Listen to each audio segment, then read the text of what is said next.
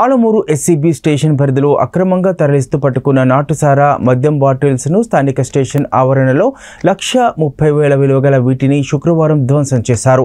జిల్లా edition SP Khader Basha ఆదేశాల మేరకు Amalapuram assistant enforcement superintendent M Srinivasarao Alamuru SCB SI P రాంబాబుల ఆధ్వర్యంలో ఏడాది మే జూన్ జూలైలో పట్టుకున్న వివిధ కేసులలో సీజ్ చేసిన నాటుసారా మద్యం బాటిల్స్ను ధ్వంసం చేశారు.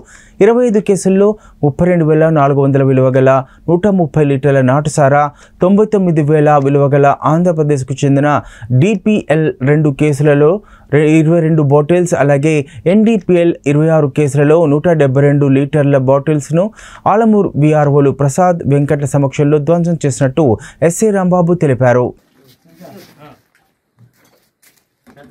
పెద్ద సంచి ఉంది కదా.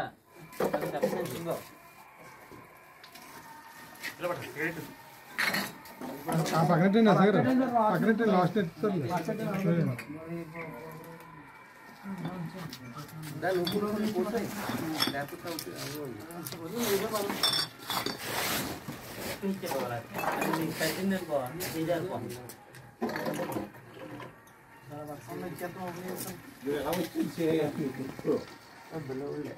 అది